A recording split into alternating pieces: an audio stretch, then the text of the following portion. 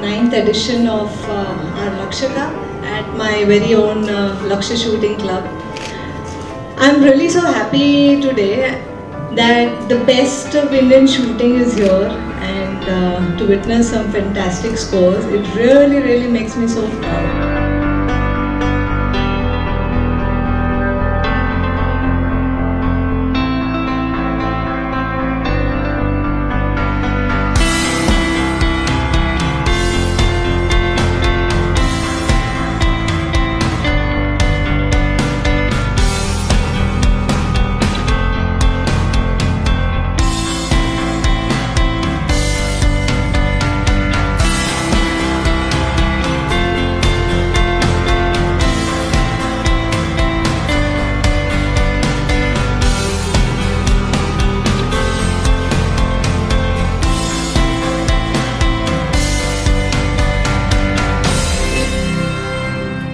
मुंबई के press club में लक्ष्य शूटिंग क्लब द्वारा प्रेस वार्ता का आयोजन किया गया।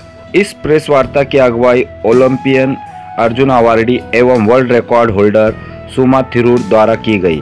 उनका कहना था कि इस बार 31 दिसंबर को करनाला स्पोर्ट्स एकेडमी पनवेल में प्रीमियर इनविटेशन शूटिंग प्रतियोगिता में भारत के शीर्ष 20 एयर राइफल निशानेबाजों का मुकाबला होगा। जेंटल एक्लेटी को बढ़ावा देने के लिए लक्ष्य कप अपनी तरह का पहला मैच है।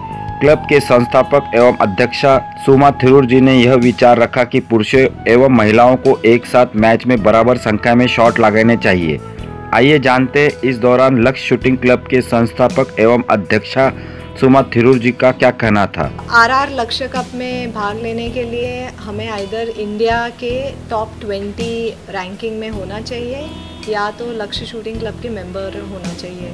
और जो भी जब ये कंपटीशन अनाउंस होता है, उस वक्त जो नेशनल रैंकिंग एन के वेबसाइट में होगा, उस रैंकिंग के हिसाब से टॉप 20 इसमें भाग ले सकता है और हम इनवाइट भेजते हैं टॉप 20 को इनफैक्ट तो ये कंपटीशन सिर्फ़ ओपन बाय इनविटेशन है, जो इंडिया के टॉप 20 रैंक प्लेयर या लक्ष्य शूटिंग क्लब मेंबर्स के लिए ये वो भी इस कंपटीशन में भाग ले सकते हैं।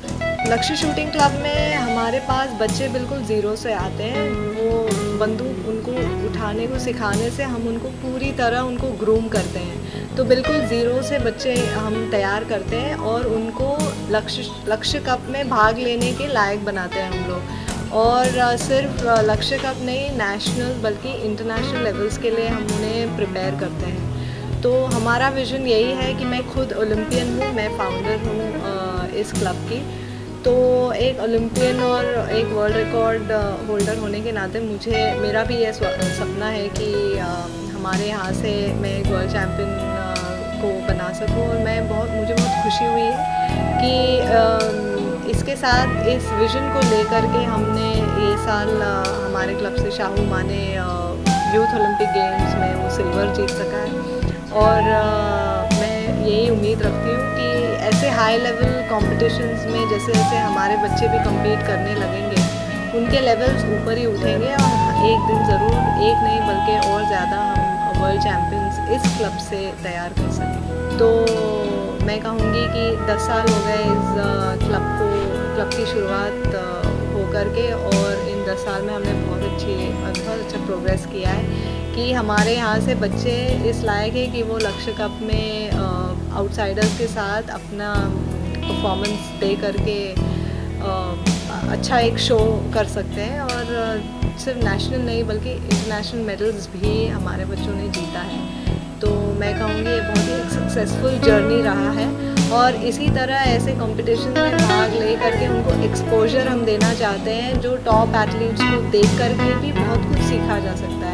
और जैसे हम अगर बड़े दूसरी जगह नेशनल लेवल कंपटीशन में जाते हैं तो टॉप लेवल एथलीट्स कभी कभी उतने एक्सेसिबल नहीं होते हैं। लेकिन जब टॉप एथलीट्स हमारे यहाँ आते हैं तो हमारे बच्चों का भी बहुत फ़ायदा होता है, क्योंकि वो उनके साथ इनफॉर्मली बहुत सारी बातें सीख सकते हैं। तो ये एक बड़ा एडवांटेज है टॉप एथलीट्स को यहाँ यहाँ यहाँ पर लाने लाने का।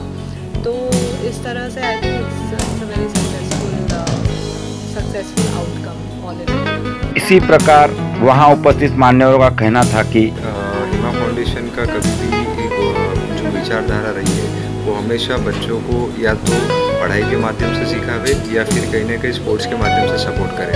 तो हमने जैसे आर आर रूपिया हिमा फाउंडेशन हमेशा यूथ को आगे बढ़ाने के लिए हमेशा विचारधारा रन करते रहते हैं। और वो सुमा जी का जो एफर्ट्स हम लोग ने और मेहनत देखी कि जिस तरीके से बच्चे एक लेवल पे ऊपर जा रहे हैं तो हमको विश्वास है कि हम लोग एक अलग लेवल पे पहुँचेंगे। और कहीं ना कहीं ये बच्चों को, जैसे आज हमारे यहाँ भारत में क्रिकेट और बाकी स्पोर्ट्स को रिकग्निशन मिलती है, इस स्पोर्ट्स को भी जल्दी से उतना रिकग्निशन कैसे मिले और ज़्यादा से ज़्यादा लोग इसमें जुड़े और अपने भारत की तरफ़ से ओलंपिक मॉडल जीत जीत के आवे, ये हमारा उद्देश्य है। कैमरामैन संदेश के साथ Vikram Singh Pundir S TV news Mumbai